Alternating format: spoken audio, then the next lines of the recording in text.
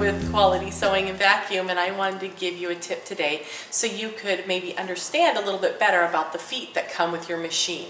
A lot of times they'll look exactly the same from the top, but when you turn them over and look at the back side, you'll notice that that's where the differences really are. Sometimes they're kind of flat on the back and that's made for regular sewing or for doing a straight stitch or zigzag. And other times they'll have more of a tunnel on the back side or a little bit more area so the buildup of stitches from decorative stitches will still feed evenly. So you'll find that those usually come with your machine. Now if you want to take it one step further, you can get specialty feet. And a lot of times these have a great difference on the back side. Sometimes they're for beading or for piping or whatnot. But the one that I wanted to show you today is called a candle wicking foot. And it's really an interesting foot. It has kind of a um, kind of an hourglass cutout in the front. So it's almost like an open toe, but it's not quite. And it really gives you visibility where you're sewing.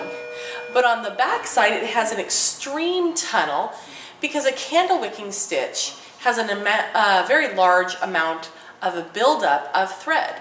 Have you ever done candle wicking by by um, hand. It's where they have like the big French knots. So your machine can replicate that if it has a specialty stitch and it just goes over itself several times. So let's show you how that works. All right, here you're going to see a couple of, of passes that I've made with a decorative stitch on the machine and these are actually candle wicking stitches.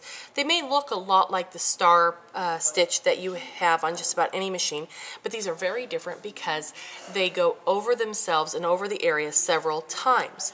And if I was using a regular foot on this I would probably have the stitch, the buildup of the stitch actually get kind of caught on the foot and it would just sew in one place. So I'm going to show you how that stitches out. It's a really beautiful stitch.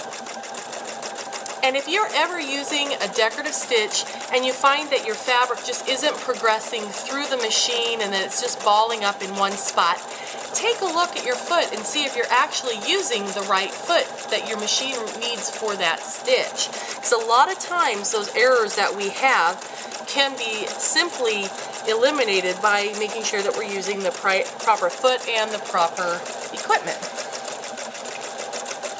Okay, so I'm just going to take this off. Did you see how it's going over itself several times? It's really a pretty neat stitch. And it's beautiful when you add this in for um, on a as a decorative stitch on a pillow or on a garment. You can even add this in your quilting. It makes a great um, edge for crazy quilting and all sorts of things. Okay, so remember when you're sewing, if you ever have an odd buildup of thread or your fabric just isn't feeding when you're doing a decorative stitch, take a look at your foot and make sure that it's the one that your machine is asking for for that specific stitch. Because it's all about having the proper equipment, using the proper things if you want the right result. And if you want to do something fun, don't be afraid of getting a decorative uh, stitch foot or something, a specialty foot. They're lots of fun and you'll have a great time and if you're like me, you just have to have them all. So have a good time and just play with your feet and have just a blast.